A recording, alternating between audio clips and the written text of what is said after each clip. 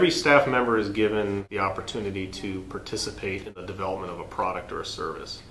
So we actually insist on every employee every week or every month, depending on their role.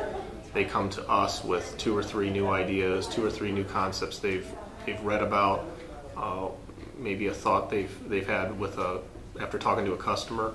They have to come to us with two or three thoughts every month or week about what, what else we could be doing out there.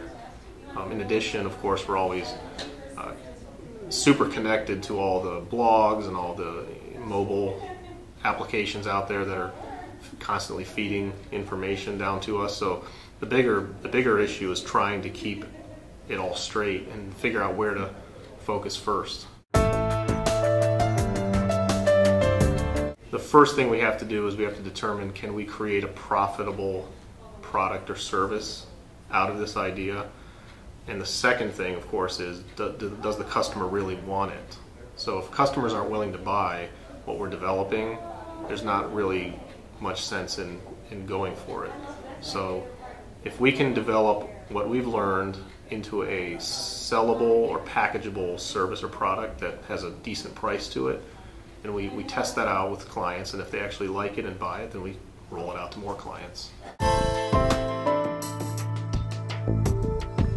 First of all, care about what your customers think and talk to them a lot, and ask them, you know, don't be too proud to uh, ask questions and maybe look like you don't know everything because you don't.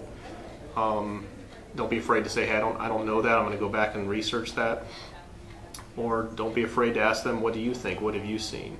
You may not look like an innovator by asking a customer something that you ought to know already, but you actually are because you're out there listening, you're out there filtering, you're getting information in from as many sources as you can.